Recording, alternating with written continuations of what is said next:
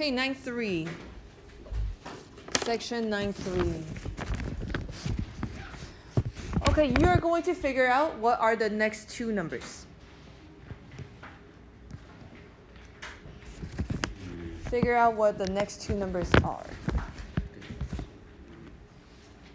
Oh, sorry. That's right.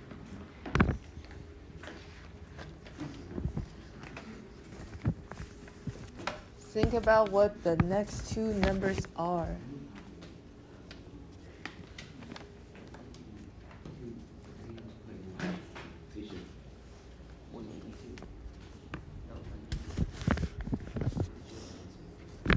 Mm, okay, Josh, give me the next number.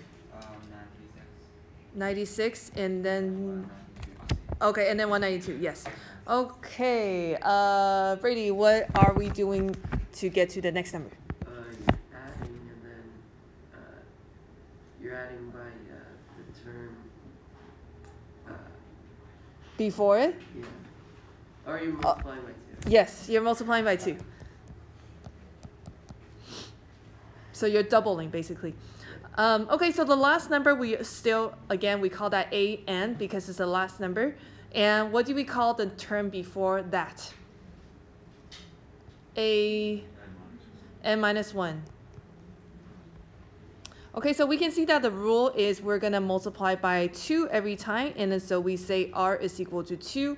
We use r for geometric sequence. Geometric means we're multiplying or dividing to get to the next number. Um, okay, all right. We are going to mm, make sure everybody has a partner. Okay. Andrew, can you be um, Josh's partner today? And then Alana, you're gonna be like a group with the people in, in the, your, behind you. Okay, so the people on the right hand side of the group or the partners, raise your hand. Okay, the people on the right, that's you. Okay, uh, you are going to explain to your partner what is recursive formula. Go. What is a recursive formula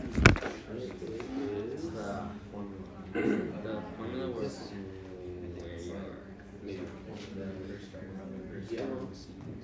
So, so, uh, oh, oh, oh, oh, yeah, yeah, yeah. People on the right, ex- uh, explain recursive.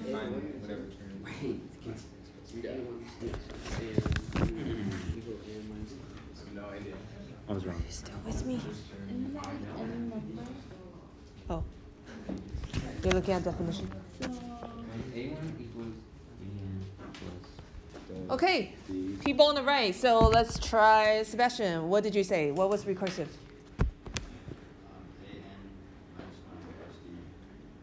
Um, how about an explanation instead of a formula? No? Yes? Oh, and is the number plus,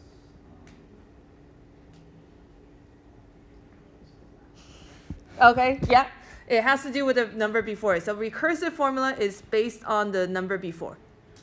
Okay, so based on previous term. All right. Now the left-hand side people, it's your time to shine. You are going to explain to the your partner what does explicit formula mean. People on the left. Explain to your partner. What does explicit formula mean? What does it mean?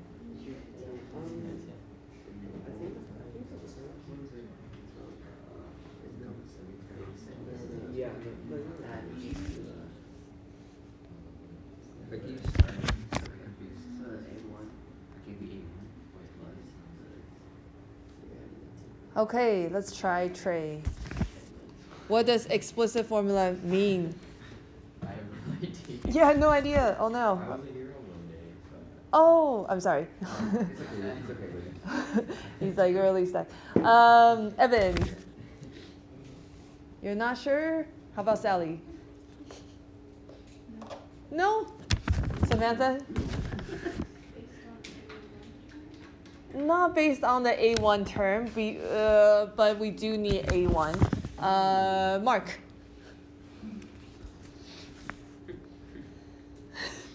Alice, you're next. if Mark can get it, you're next. Mark, no? Shaking his head. Alice, what is explicit formula? Nobody knows. Okay, anyone knows what, what does explicit formula mean?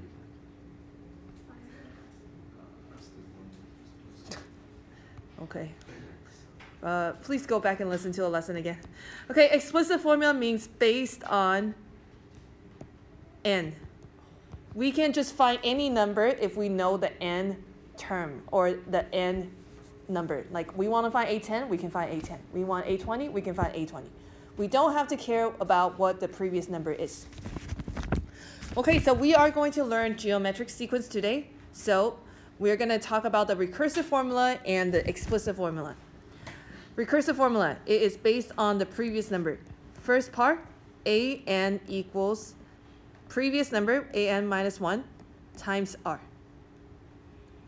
Second part, we need a1. So whatever a1 is.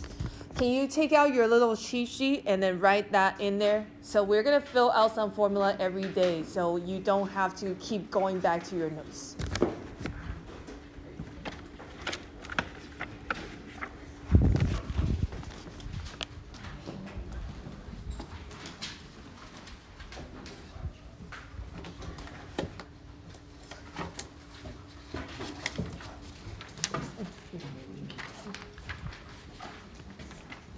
Mm-hmm. Sorry, I forgot you were not here because you had the test. I was like, oh. All right, so that is the recursive formula for geometric sequence. Okay, next, explicit formula. Um, you guys are pretty smart, I think. Um, I'm going to show you how to derive the explicit formula.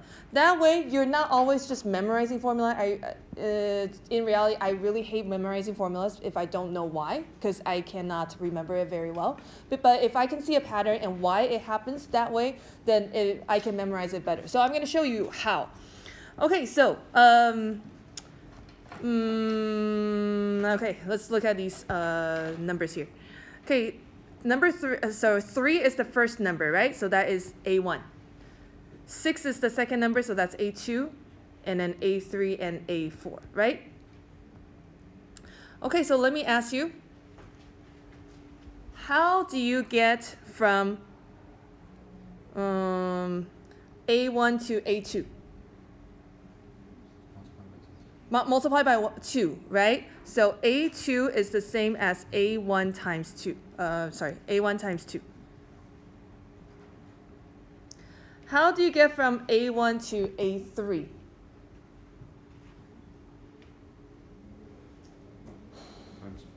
Times 4 or times 2 times 2. Basically, 2 R's. Are you guys with me? Uh-huh. Okay, to get to A3, it's A1 times 2 times 2. Okay, how do you get to A4? Times two times two times two.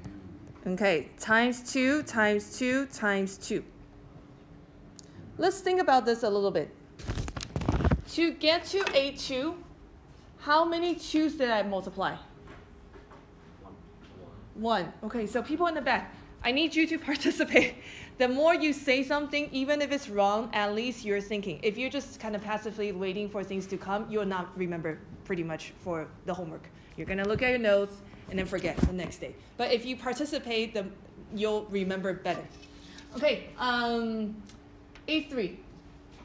When you want to get to A3, how many 2's do you multiply?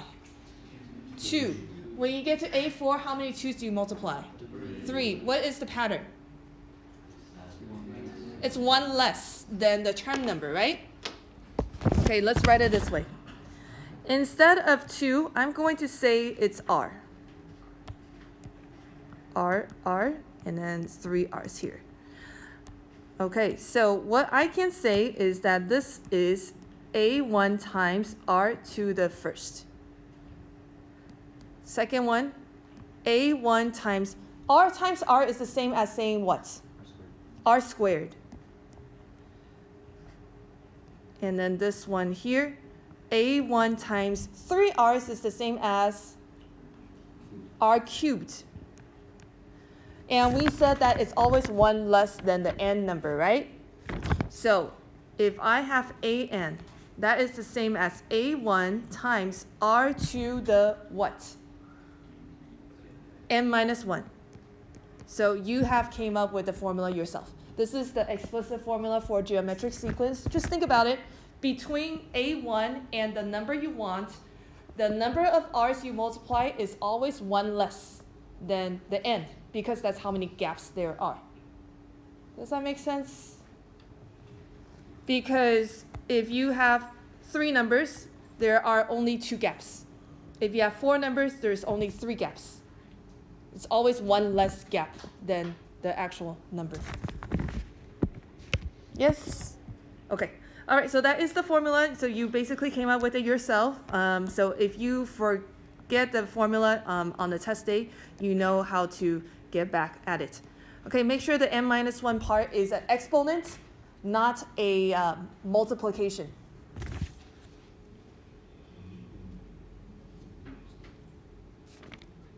All right, let's practice. So we're going to go to the next page. Oh, make sure you write this down on your cheat sheet as well. So now you're filling out all of the geometric, recursive, and explicit.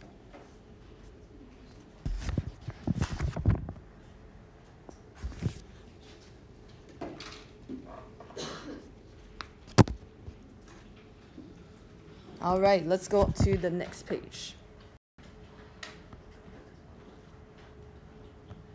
Okay, you and your partner, let's finish this one.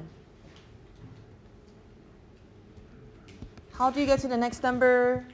That tells you if it's arithmetic or geometric and fill out the rest. All right, let's do this. Let's start from the back. Um, Allison, first one, is this arithmetic or geometric? Arithmetic, very good. So what number are you adding every time to get to the next number? Three, very good. Okay. Uh, Sebastian, what is the recursive formula?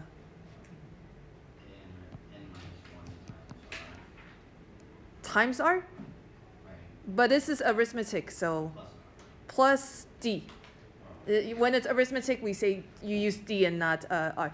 So in this case, d is 3. Um, we also need a1, so what is a1? 3, very good. Okay. Uh, Samantha, what is the ex- explicit formula?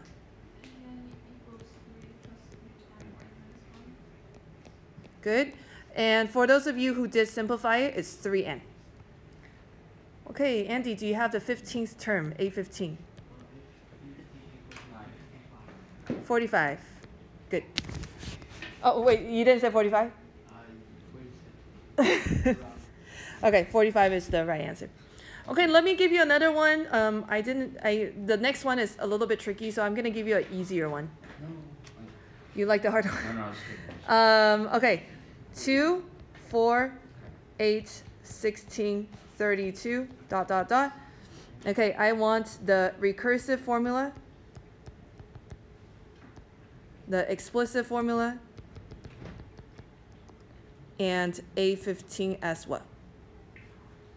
A15 is going to be pretty big. Uh, let's not do A15 then. Let's do A10, a little smaller. Okay, let's go over the answers with you because uh, you haven't tried this yet. Okay, recursive. a n equals a n minus 1 times 2. Okay, you gotta give me a1. a1 is 2. Explicit formula. a n is equal to a1.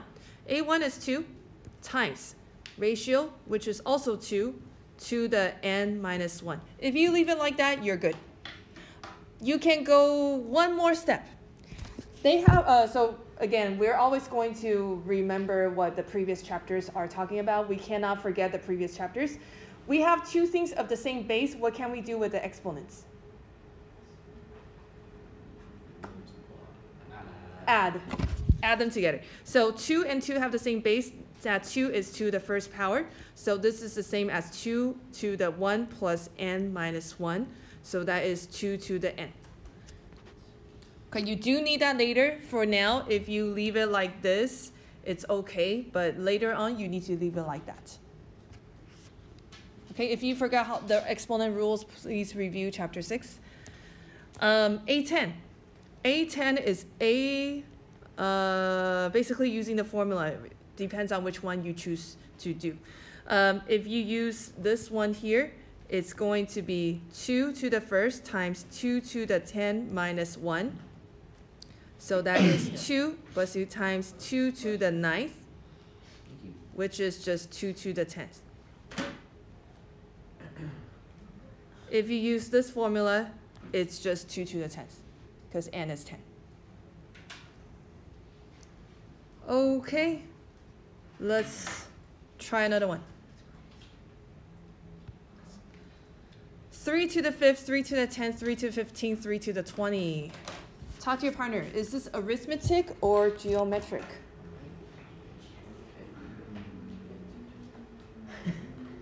arithmetic or geometric? Do you add or do you multiply to get to the next number?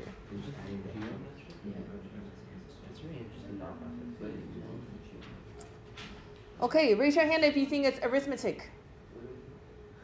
What number do you add every time? Five?